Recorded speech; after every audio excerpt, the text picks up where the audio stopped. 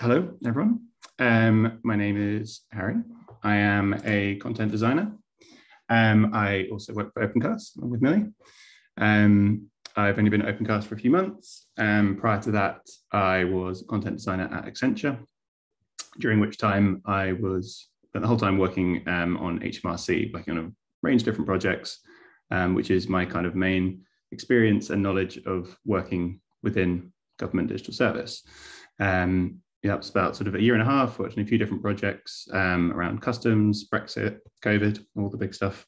Um, so whilst I feel like I've got a pretty good idea of it all and hopefully can share some kind of personal insights of applying this, I wouldn't class myself as an expert on government design, um, but I feel like I've got a pretty good feel for it and, you know, hopefully can share that experience and that knowledge. Um, for me, content design is basically just about ensuring people get the right information at the right time um, and in the most understandable format. And that's really kind of what kind of is at the core of, of public sector design, of government design. Um, these kind of the principles I'll talk about in GDS, these are kind of general like design principles. They're not necessarily specifically just about content. Um, I will obviously, you know, giving kind of examples that sort of relate more to content as my own experience. Um, but generally, obviously, for me, you know, content is part of user-centered design and it overlaps with um, you know UX and UI and uh, user research and service design. It's all you know we're all part of the kind of the same thing of user-centered design, and these are essentially what these principles are about. Um, so just like a quick intro to GDS, Government Digital Service. Um, it was formed in April 2011 uh, to implement the digital by default strategy, um, which was proposed by a report uh, made by the Cabinet Office um, snappily titled Direct Gov 2010 and Beyond, Revolution, not Evolution, um, which is, you know, lots of meaningless words. But um, ultimately the point was, is that prior to that point, um, government's sort of online presence was um, very bifurcated, very disparate, um, different styles, different user experiences, different ways of doing things. Nothing was kind of unified. and the way you engaged with government online had no kind of consistent uh, principles guiding it. Um, so their kind of overarching aim of, of GDS is to build platforms, products, and services that help create a simple, joined up, and personalized experience of government to everyone. Um, so that kind of mostly focuses around GovUK. It's where we access all the times we might engage with um, the government. So the aim of GovUK was to take hundreds of websites down to one continual seamless user experience, um, which is kind of agnostic, as they say, but regardless of kind of which government department you're dealing with. Um, and it's a website that sees millions of users a week. And basically, the user base is essentially anyone who wants to, or not literally wants to, but has to interact with government, which at some point or other is pretty much all of us. Um, so if I take you back to the wonderful world of mid-noughties uh, web design, it's what DirectGov used to look like, sort of gave the illusion that it was uh, kind of all in one place, but really behind each of these would be you know any varying different sort of style feel look experience interaction um, and very quickly you would lose any sense of kind of a seamless experience. Um, so when GovUK was first introduced um, it was very well received. Um, it was it won the uh, design award for that year. So it was going up against things like the shard and the olympic cauldron um, which i guess you would regard as you know maybe the public would regard as more kind of obvious examples of you know impressive or good design and you know what's essentially quite a sort of plain simple looking website i think gave the illusion of being oh well that's why is this very basic website? Um, getting this design award but the point was that it belied the huge amount of effort that had gone into making it such. Um, so you know what you'll see is that if you're you know interacting with a gov website it'll have this consistent design and look and feel. So on the left we're dealing with the HM Passport Office, um, which is one, you know, one department within the government. Um, and then on the right, we're dealing with HMRC, two completely different services, which both look and feel and behave in a very consistent way. So how does this come about? Um, basically, anyone who's working within government services, so whether that's someone who's working directly for any of these agencies or someone like myself who coming in as, as, a, as a contractor, um, there are these 10 principles which were kind of ordained early on in the GovUK process uh, and kind of speak to all the, the ways in which you have to work when you're working within GDS. Um, some of these, you know, will probably be familiar to some of you. I mean, I obviously don't know everyone's experiences. Some of you might have worked within government or public sector. Um, and some of this might be, you know, teaching you things you already know, um, but hopefully it kind of reinforces those things. Uh, and there are some nuggets of interesting information amongst it. Um, so the first principle, kind of the most obvious, and one we should, you know, kind of hopefully all be familiar with if we're if we work within design, is uh, starting with user needs. Um, so, you know, if you don't know what the user needs are, you won't build the right thing. And um, obviously, what often happens, especially when we're working within public sector, is your stakeholders will say, "Oh, we need this," when actually your users are saying something completely different. So you really need to do that research and advocate for doing that. Um, I'm not going to get into, you know, stakeholder management. That's a whole extra uh, different talk that someone could give. Um, but I think the most important thing is getting that kind of buy-in to the process of of starting with these user needs, really not accepting any assumptions that have been made, but also at the same time recognizing that you know the stakeholders you do work with, the sponsors, whoever they may be, clients, they'll often be, and especially within government, they will be subject matter experts. So from working within HMRC, these are people who, you know, HMRC tax is a complicated world and they know it inside out. The problem is, is that whilst that information is super useful and really important to, to understand when you're coming in as a, as a designer, um, it's also the case that they will not realize how little like users might know. So it's always important to obviously not make assumptions. Um, and again, I'm not going to go into lots of user research methods. I am not a user researcher. Um, I work with them and they're fantastic. Um, I won't get into, again, this is a different talk. Um, but, you know, any kind of way you, you, you, gather information, you know, speaking to people, data, which we'll talk about a little bit more, um, you know, affinity mapping, etc., etc as long as you know what your user needs are and not what their wants are, um, you'll hopefully build the right thing. Um, often a quote that gets kind of trotted out when people talk about this is, is one about Henry Ford asking, you know, if, if he'd asked people what they wanted, they would have said faster horses. Um, and it gets the point across is that, you know, people won't necessarily know what they need, what they actually need. Um, but Henry Ford was a, a, terrible person and he didn't actually say that. So just, just FYI.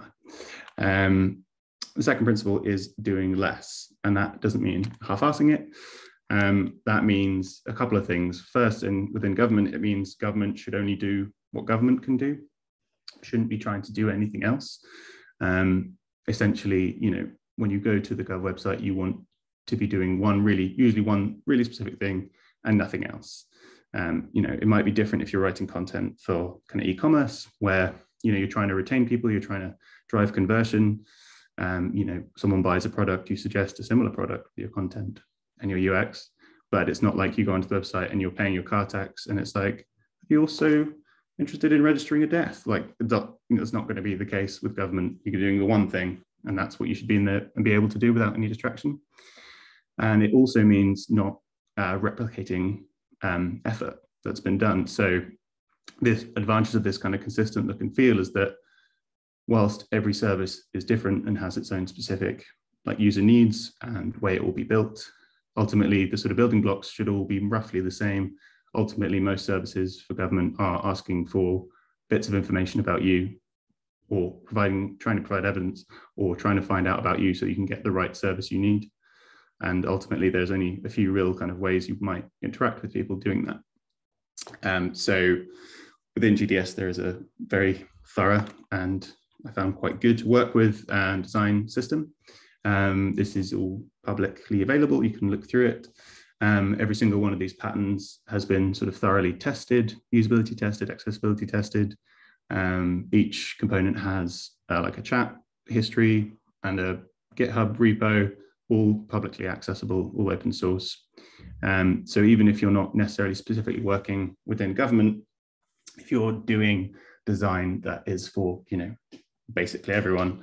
They're really good ways of kind of looking at your, looking at how government has solved this and how it's, you know, it's not just one person so fixing it. These are, you know, these are group efforts. These are people trying them out, finding out what's good, what's bad, and also recognizing that things could be improved. Um, every one of these patterns is is basically, you know, a living thing. it can be refined and changed. Um, but basically, you know, you don't need to start from scratch every single time. And that's quite a valuable asset when I found when I'm working on services, um, working with you know UX designer, um, we don't have to you know we can take some things as written as like oh well, you know we can have radios, we can have checkboxes and stuff, and we don't have to waste time you know with the UX designer doesn't have to waste time doing you know unique CSS, and the content designer needs to, doesn't need to think oh how do we ask this question because it's already been asked you know 100 different times in 100 different services. Um, so we're never you know start from scratch. Um, the third principle is designing with data. Um, so same as these components are never finished, ultimately a service is never complete, it's never done, it's never perfect. These things are always iteratable, if that's a word. Um, and one way we can do that is designing with data. Um, so letting kind of data drive decisions, not kind of hunches or guesswork. Um, that and data isn't just numbers on a screen, it's also qualitative data. So it's talking to people, it's doing user research, getting insights. Often user research gets kind of an impression that it's sort of a nice to have.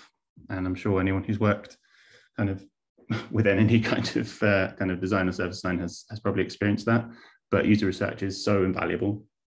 And I mean, as a content designer, you could obviously, you know, you try and have empathy for your users, you, you take in user needs, you try and write the content as best you can. And you can probably think, oh, I've done a pretty good job there. And then you put it in front of people and, you know, nine out of 10 people haven't got a clue what you're talking about. So getting that validation is so, so important. And I'm sure a lot of you will know that anyway, but trying to advocate for that is also is sometimes a challenge. Um, again, sort of getting into stakeholder management. But if you can get like stakeholders actually invested in that process and involved, if even if it's a case of just having a stakeholder like you know observe on a user research session, hearing it kind of from the horse's mouth, as it were, can be quite a powerful thing um, rather than it constantly coming through the prism of, you know, oh, well, we've made this change as a design team. Um, if you kind of get that involvement and that buy-in, that can really help. And if you've got, you know, got hard data, you've got direct quotes from people, you can kind of illustrate those points. Um, an example I worked on uh, whilst HMRC was the uh, HMRC Digital Assistant chatbot. Um, it was, I will say, honestly, imperfect. Um, it was kind of being developed and then it got rapidly sort of um, fast tracked to deal with um, primarily the co coronavirus support schemes that were being run by HMRC. So the job retention scheme, furlough scheme, um, and the self income, self-employed income support scheme, the main ones.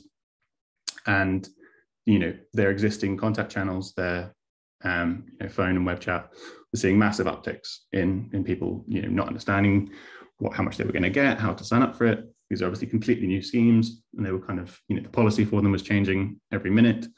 Um, so it was challenging for the content designers who are working on the guidance to you know stay up to date with all these changes, and naturally you know things become confused and people asking questions. But a lot of those questions um, were you know what you would call low value, and not that they weren't important to those people and they weren't valuable answers that they needed. But the point was that the information that the advisor on the phone or the web chat could give was basically just in the guidance. You know, the person just hadn't been able to find it or the guidance wasn't well structured or well written. Um, so ultimately, we're trying to sell, allow people to self-serve using this chatbot. But the problem with the chatbot is that it is not that intelligent and you are basically basing a lot of things on assumptions. So we assume, okay, there's going to be, you know, the third self-employed grant is coming through we're going to, these are this, this and this is being changed in terms of the criteria for it. So we're going to expect people to ask questions about this. And we would try and write some content around that. Uh, but then when we actually looked through the chat logs, which was often quite a kind of slightly harrowing experience, you realize how, you know, it, where it was falling short.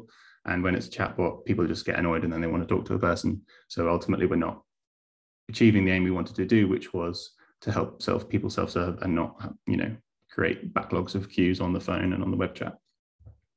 But as hard as it was to look through those things, it was obviously a really powerful way of iterating and improving, going, okay, we people are asking this question loads and loads of times. We don't have an answer. The chatbot's just saying, I don't understand. And you're just frustrating people more than they already are. Um, so the data there was super important and super powerful in terms of kind of refining that experience for the user. Um, the fourth principle is doing the hard work to make it simple. So what you'll often hear, often working within government is, oh, that's just always how we've done it. Um, and that is often, often quite a difficult thing to counter. Um, but just obviously because something's always been done away doesn't mean it should continue to be done that way. And often can, what can happen, especially with, with public service work, is you have a legacy process, something that's been, you know, on a maybe a post postal form for 10 years or more longer.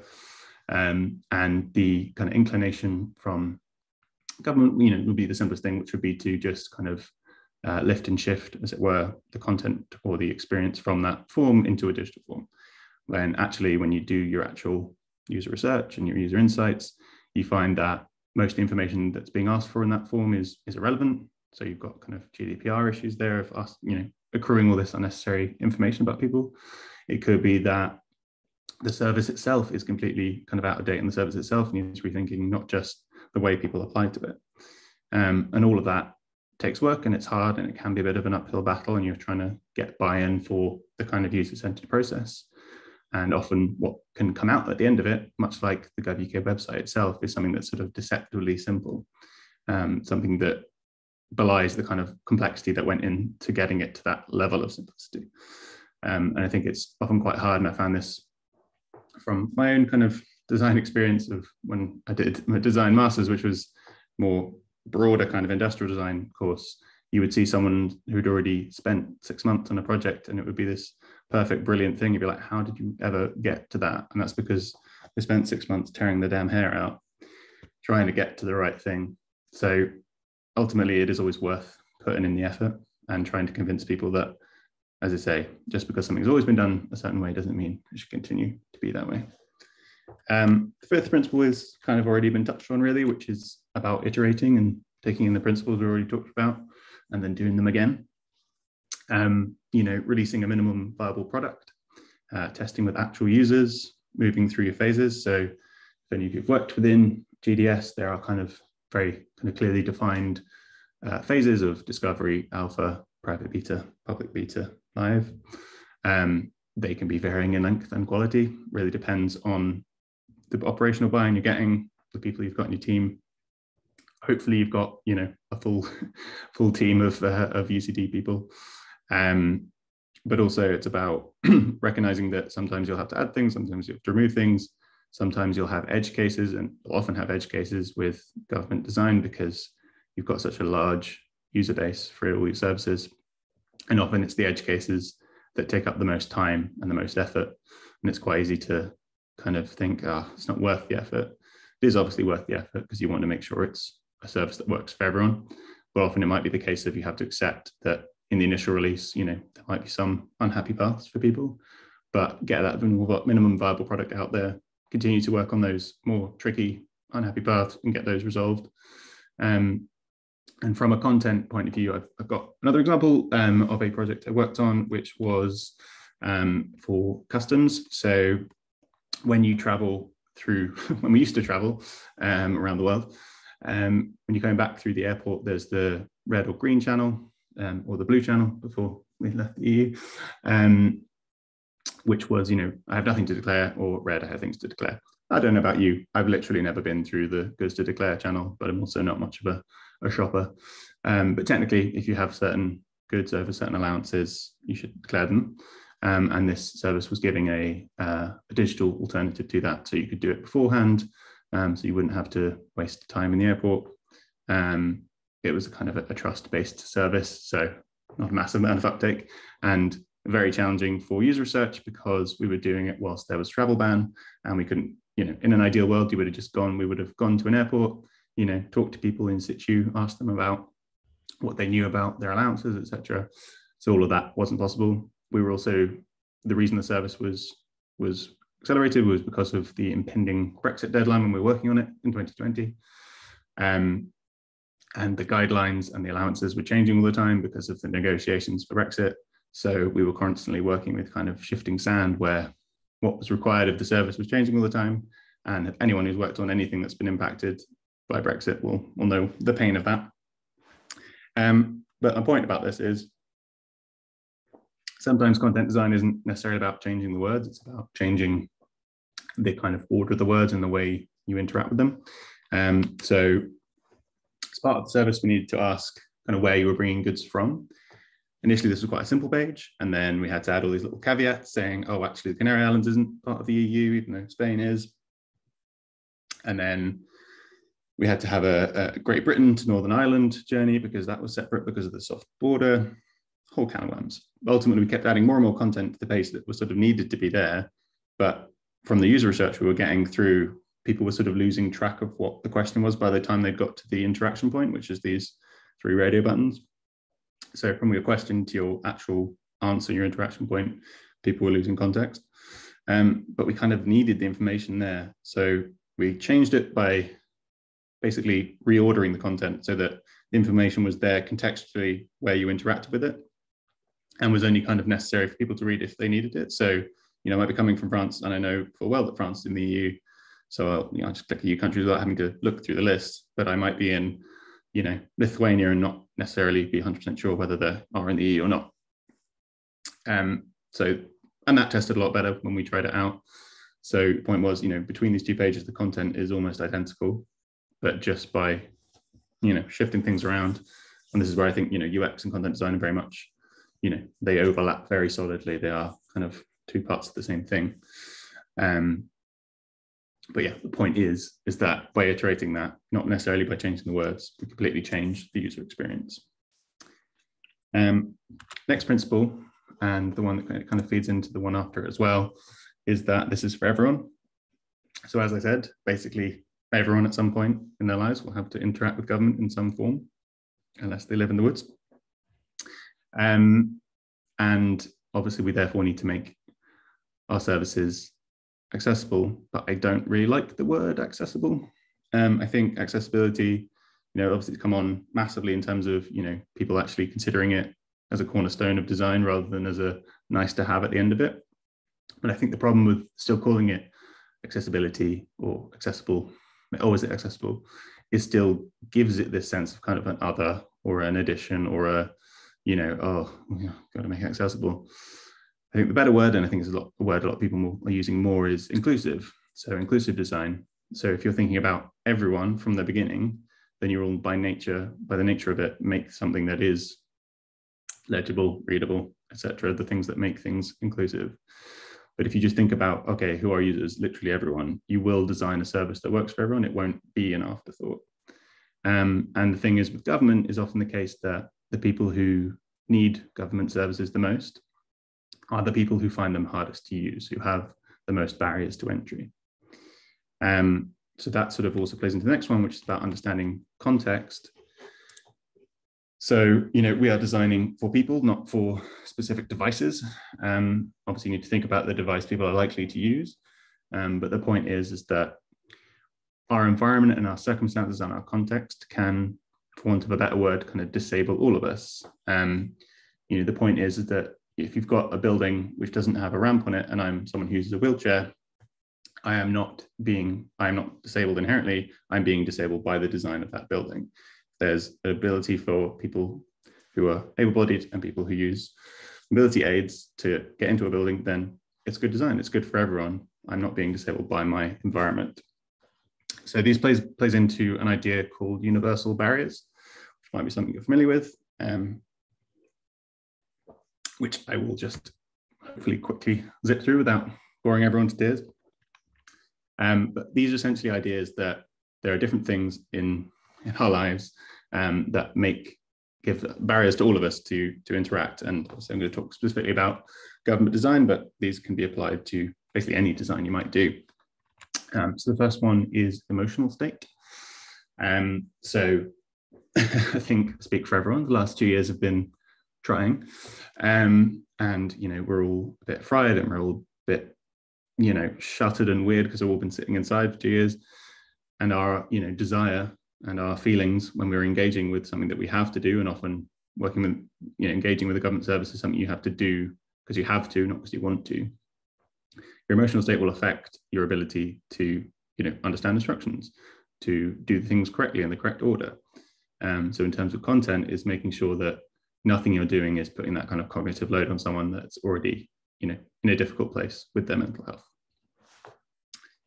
Um, enthusiasm is kind of tied in, and also these barriers, they all kind of overlap and interact. They're not discrete things. Um, you'll have some, depending on your service and your users, that will be more prevalent than others, depending on what it is you're asking the user to do.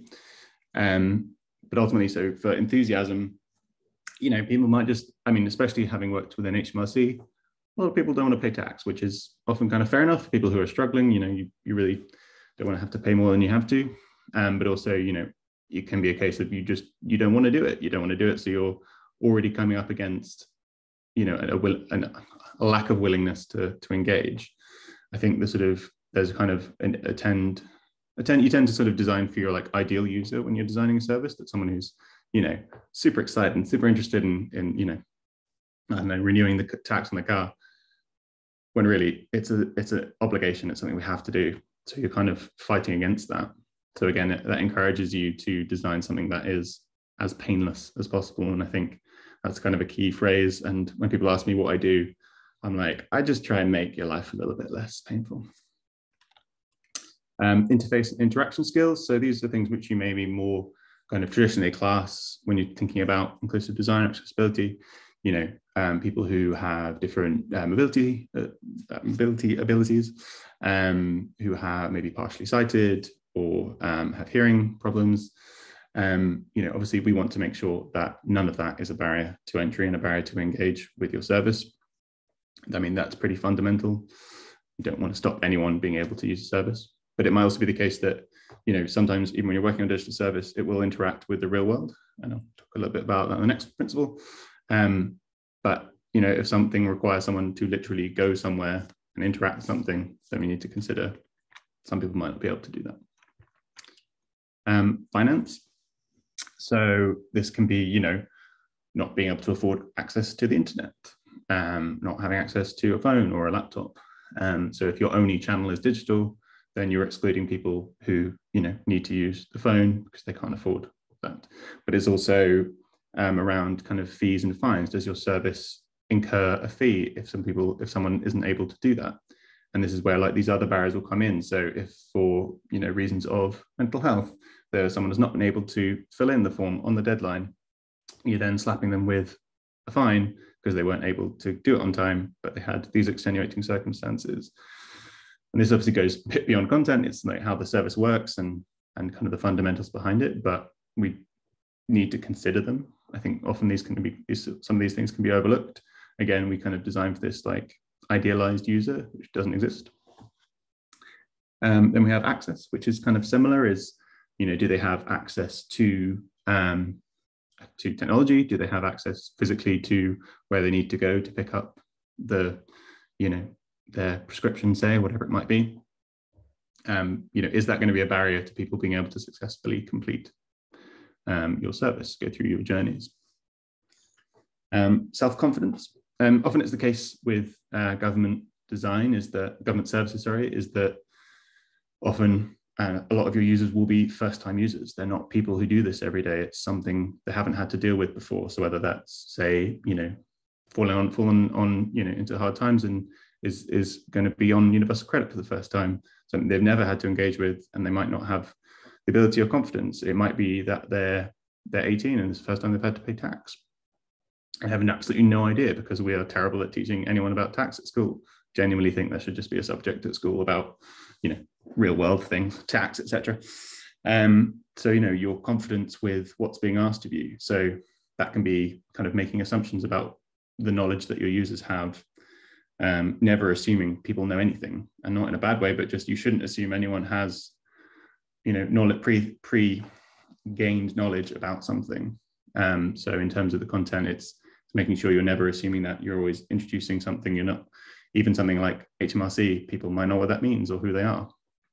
Um, so it's kind of about that kind of lack of assuming someone already knows what they need to do. Um, time this is kind of a big one. Uh, people are time poor. They don't have time to be sitting reading reams and reams of information or understand what they're doing. Um, and for me, as a, as a content designer, I feel my like for me sign of kind of I've done a good job is if someone doesn't have to read something twice. Um, if I think someone has to read an instruction or or you know a question or a piece of content more than once, then I haven't made it clear enough. I haven't made it concise and simple enough. Um, you want to respect people's time you know, you shouldn't expect people to have to sit on a service for half an hour. And also, you know, these other factors come into play because maybe I've only got, maybe I'm an internet cafe and I've only got 10 minutes, for example. Um, trust depends who you're working for, but some people trust the government more than others, um, different areas of the government more than others. Um, obviously, trust in the government is being steadily eroded at the moment. Um, so people's people's trust is is often something you're coming up against. Um, if they're having to provide, say, personal documents, you know, how do you ins instill a sense of kind of security? Obviously, part of that will come from the kind of technical side, making sure things are secure. But from a design and content point of view, you know, are you making it? Are you making people feel that they can kind of trust you? The, the difficult thing here is that the kind of the style there's a, there is obviously kind of established style, and that's again another presentation um, within of writing for government, but it tends to be quite kind of imperative and straight ahead. It's just do this, don't do this, ask this, give this, send this. It's not, oh, please, can you do this? Please. We don't really say kind of please and thank you right in government, um, which often people don't mind. They don't need that. They just want to be told what they need to do. But there's a case of kind of understanding your context. Um, often, obviously, with the government services, some of them are, you know, sensitive subjects whether that's child support or um, you know disability benefits. You know, you're dealing with people who are in you know difficult situations, and their engagement with these services is really important. And you can, it's, it's a challenging thing, and, and feel free to ask me questions about this afterwards because I don't have an answer necessarily for how to do it well, kind of staying within that style. And if anyone was at the previous content folks about kind of tone of voice, it can sometimes be a challenging thing. So working on a service which was to do with uh, like well whistleblowing basically people reporting fraud um, and kind of the feedback we were getting from user research was that you know oh i'd kind of like to feel like thanked for you know basically for one of a word you know dobbing in someone um, but we can't be like oh thanks for doing that because it might be the case of what their information they've given is is not worth anything and actually you can't investigate it so we can't really assume anything, but can you at least show kind of some gratitude in the way that you phrase and, and pose your questions? So trying to instill that trust can be challenging. I think it, you might, it, it really depends on kind of the service you're working on and, and what people feel, but you'll only find out what that is by doing, you know, user research at the beginning. Um, comprehension skills.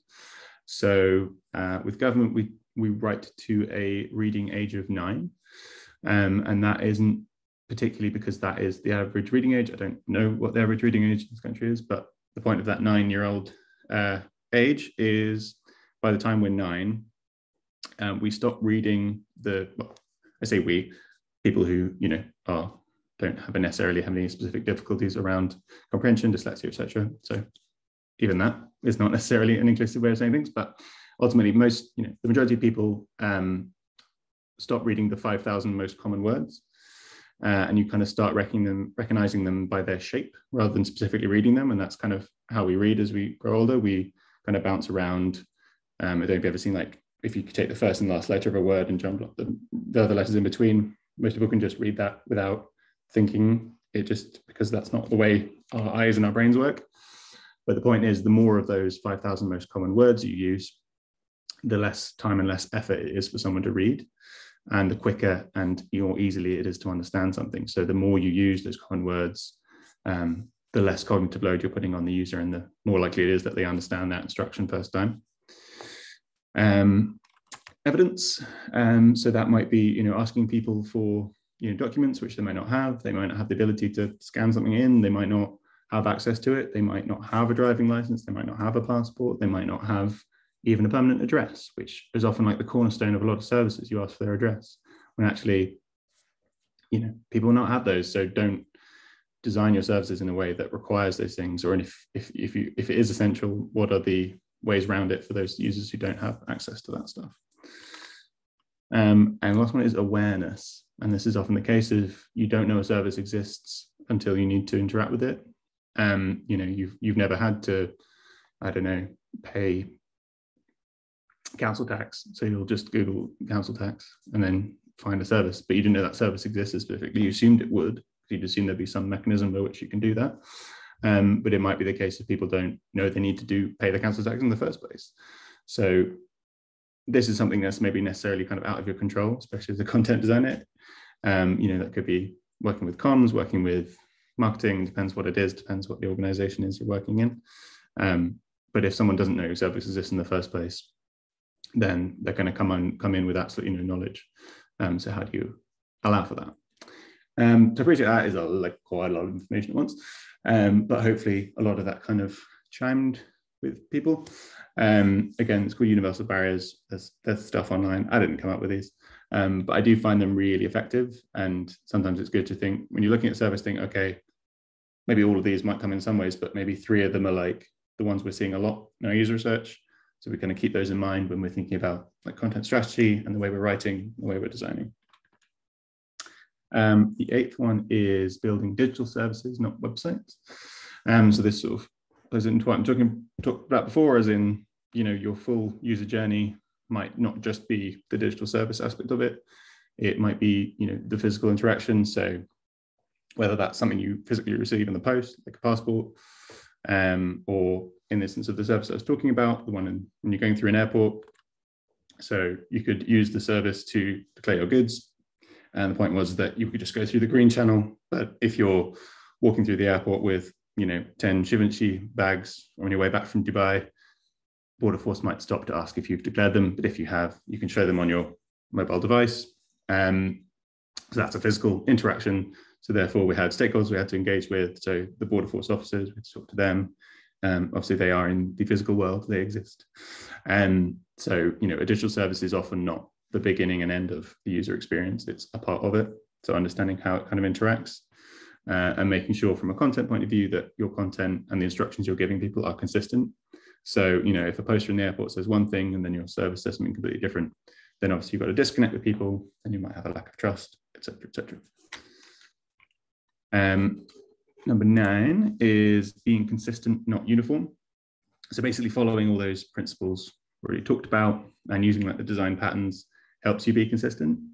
But sometimes you might need to break from pattern. You might need might have just a very specific user need or thing that they need to do or evidence they need to upload, whatever it may be, and you need to kind of break from that. And it's having the kind of ability to do that and the confidence to do that. Um, there are great communities of practice within government. Um, so if anyone who has worked within government, they'll know that, especially within design, like often you are not the first person to hit a problem. Um, um, but if you are, then there'll be other people who can provide their expertise and information. Um, you know, it's just recognizing that every circumstance is different. And whilst we can, you know, work with patterns and, and share them, we can also talk about why they haven't worked. Um, so it, it's a subtle thing being consistent, not uniform. You could argue they sort of mean the same thing, but it's that subtlety of, of being consistent in your approach, but not necessarily uniform in the kind of output from that approach. And number 10, and I think sort of already been said, is making things open because it makes things better. So that's sharing code, sharing design, and sharing ideas, sharing failures, being honest when things haven't worked out. And I'm sure we've all seen news stories about services that haven't worked, um, track and trace, for example. Um, but basically, the more eyes that are on a service, generally, the better it gets. Um, you know, you can. I've I've been in crits and I enjoy being in crits because I enjoy being able to like look at a problem and think about it. But when you're the one being critted, it can be challenging. It can be quite like, oh shit, I didn't realize I had completely missed the point. But that's because if you're working on a service that has maybe 30 screens, 30 questions, you'll have gone through those 100 times and you can sort of often not see the wood for the trees. Um, and something that's really obvious, blindingly obvious to someone who's seeing it for the first time is something you just completely gloss over because you know you've read it 300 times. So getting opinions, sharing things, being open, being honest um, is really, really powerful. So those are the principles. Hopefully that was useful. Um, I'd recommend going to the government page for this. This is basically where all that's come from. I, nothing I've said is original. Um, so yeah, it's guidance forward slash government design principles. Just generally, if it's not something you've ever looked at or had a poke around, I would recommend it if you're interested in, you know, good simple public design. Um, and I would also recommend um, this book. So whoever it was, Dan, uh, if you haven't bought it, you could use your book voucher on this. Um, Lou Downe was part of the original Gov UK team Um, they are a very knowledgeable um, designer and they share lots of really good tips in the book. Um, lots of good examples, lots of good effective ways of working, and a lot of it obviously plays into uh, the principles that have been used for government. Um, so that is everything. Um, I don't, well, I do have Twitter, but it's mostly, I just use it to kind of complain to customer service Twitter accounts. So if you want to connect, I'm on LinkedIn. Not that I use LinkedIn much either, but I'll figure out how to have something at the end. Um, so yeah, that's bit.ly slash Harry Thompson. And that's all. Are there any questions?